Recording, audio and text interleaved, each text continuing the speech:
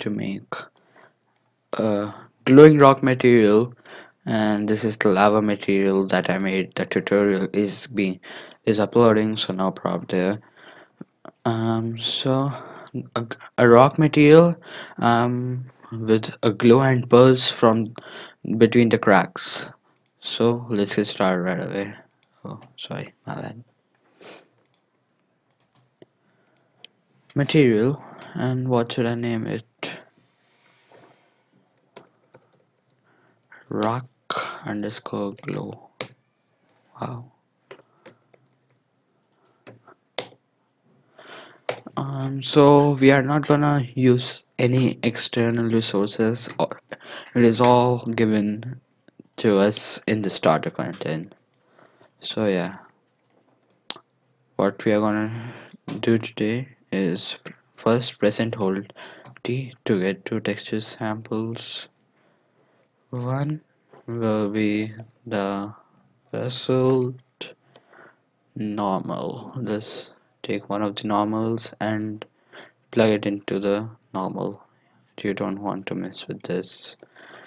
Then the other one will be Basalt but this time I'm gonna have to use oh just pick any one of those. Refuse now we have this. This whole 3 and this is the vessel. We want the cracks to glow. If I press 3 right 3 will get me a vector I'm just gonna convert it to a parameter. Just give it a yellowish shade of glow. First let me put it into the emission emissive color right orange shade of glow will do it. Yep that will sure look good. I'm just gonna rename it to emission color. Mm. So now every texture is made up of three texture three color channels red green and blue so I'm gonna and each one is a is in a grayscale value so we can use them to use them as a mask as well. And that is exactly what I'm gonna do today. First I'm gonna multiply this 3 vector by a scalar parameter to control my glow. Now actually first I'm gonna drag off another multiply you can just hold M and left click to get a multiply node by the way. And then in this one I'm gonna have a scalar parameter that is editable in an instant. You can just hold S and left click right? And here I'm gonna put in um, material nope. Um, glow what has happened to my G glow intensity? Yep. Put in something to like a 100 I'm gonna apply. Now there is another thing I just need to do. There you won't see any effect here because it is not plugged anywhere. I'm gonna drag this off. Now first I'm gonna right click here and search for a time node this will get you the time elapsed I mean the current like the game time right? And I'll just drag off this pin and search for sine sine will give you a waveform from minus 1 to 1 in this case and we don't want a black glow so I'm gonna add a constant value. This is gonna control my and I'm gonna multiply these two values by the way. I'm gonna set the scalar parameter here and set it to something like 5 and we are gonna get this to pulse intensity. So this is your emission done right here.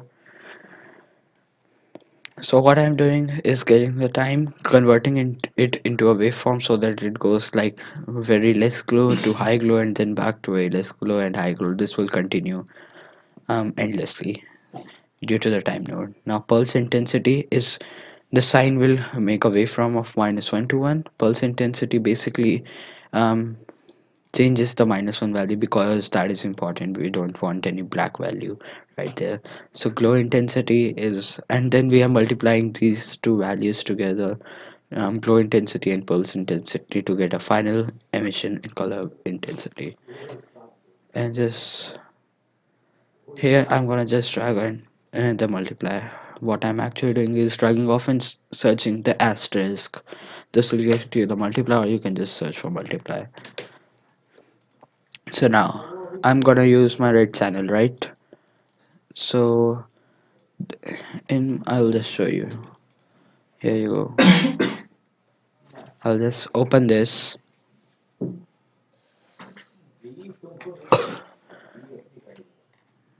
Yeah be this one. I don't want my alpha yes. As you can see I've got this texture here. I'm I'm gonna use my red channel. It is all white and black at the edges. What I want is that is the black is not visible in this channel. I want the black edges that is the cracks to be visible and the rest of the area to be black. So what do I do then drag off and 1 minus. This will invert the grayscale values. Okay? That's what it is. And then I'm gonna use a power. So what this power will basically do is control um let's just say the I'll just show you start preview node. Now as you can see here this will control the contrast basically if I set this to rock coverage and it is 0 here I'm gonna set this to 100 now as you can see only the edges are white and the rest of it is black. And then I'm gonna clamp it so that it will um, clamp will get you a minimum and max value. It will just set this to a float between.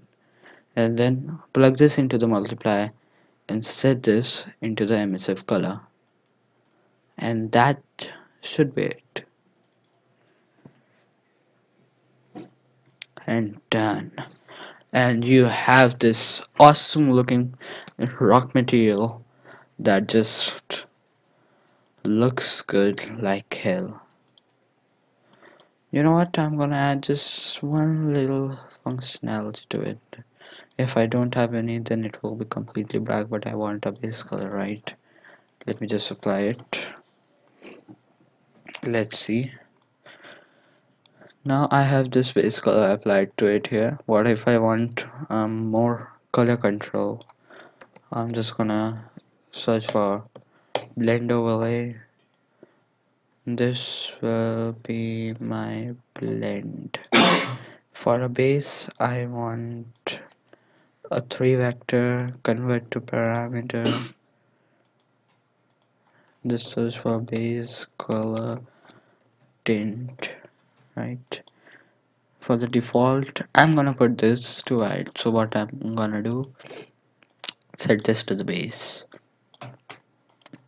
Now the result I'm just gonna multiply it by the base color. This will give you a good result. This will actually take this and blend these two textures together. This is what the node does. Not the and the linear interpolate works different way but I normally use this for tinting and just put this and then I'm gonna take the main texture base color and multiply it by this node. And then put this into the base color. But what if I but let's just say I don't want this to be working but I want this but I want the user to have an option for it right? So just what do we need to do? Just drag off from here and search for static switch. Now I'll just drag up the value and search for bool static bool parameter just name it base color tint right yep looks good to me is it pulsing Should be.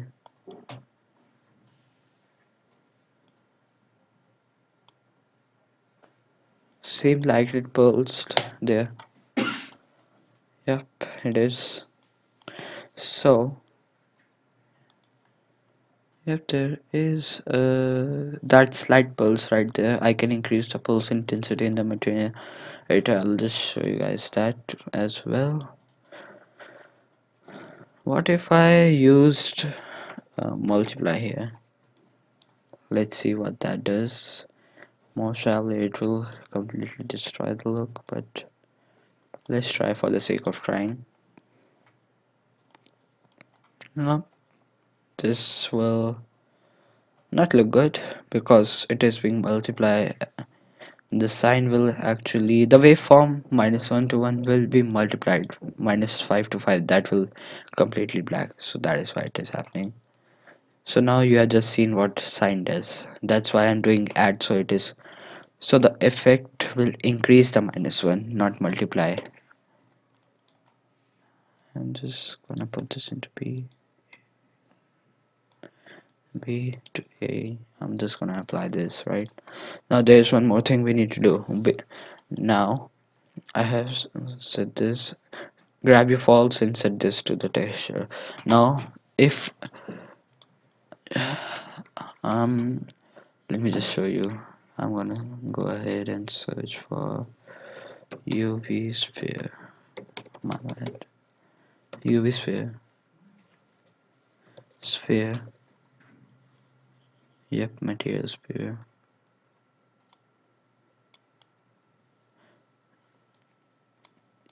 I'm just gonna apply material the material to this. I'm gonna do that I'll just show you just click on browse right click create material instance and put this here.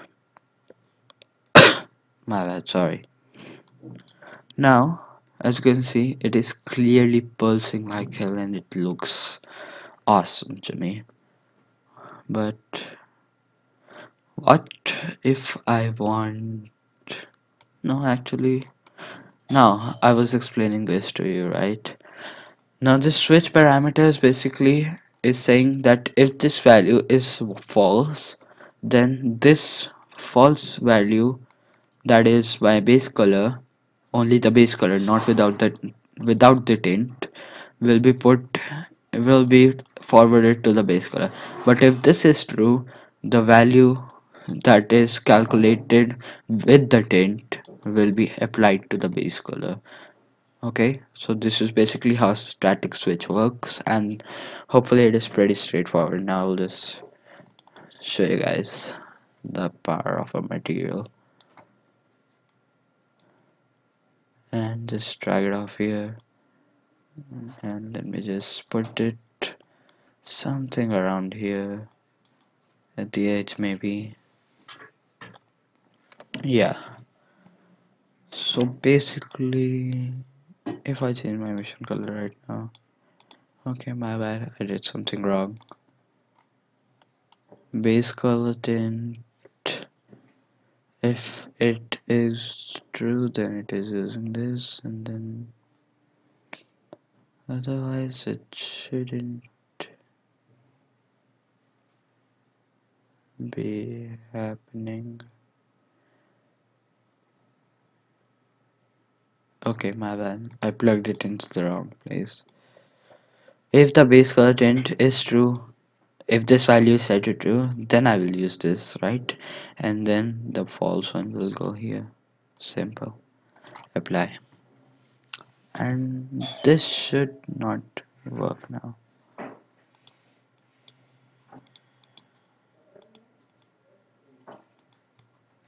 Wow if I just oh my bad. That was the emission color not the base color I was so worried there yes so I have this. I just show you guys what I can do with this stuff right? My glow intensity will set this to an awesome looking glow and this is my glow intensity right yep. Now if I increase my pulse this is actually pulsing. And it looks so awesome. The pulse effect I'll just show you. With a close-up it looks awesome. You'll notice a slight pulse there.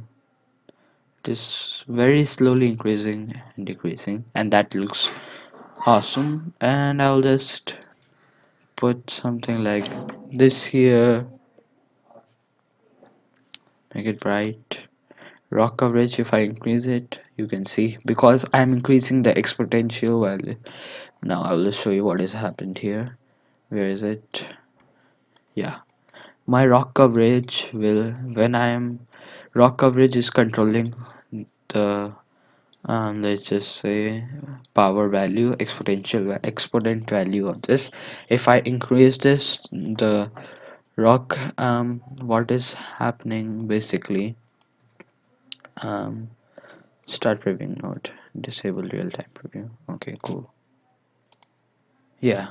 So if I increase this rock decrease this let's just say then this white will spread. But if I increase this then the this area is black and we are using the white areas to multiply.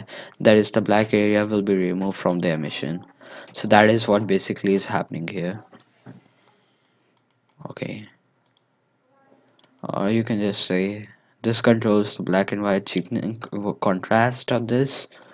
And I'm just gonna multiply it and it controls the emission color value right there okay let's just say let compile. And besides if you like this lava um this should be uploaded by now. Yep it has been uploaded. Hope you like it. Like share and subscribe please. I'll just share it to channel and all. Rock coverage if I increase if I decrease this you get an effect. If I decrease this as you can see my rock coverage is being decreased and this is covering my intensity. And if I increase my rock coverage so that it is only near the cracks something like that 100 is actually a good value. Base color tint it controls my base color my emission color will control my emission and this will help you create some seriously alien effects and that does look good like let's just say I've got this here. I'm gonna put this material here. I don't care what you say. Oh my man this is this one is here. Rock instance one. If I set this back.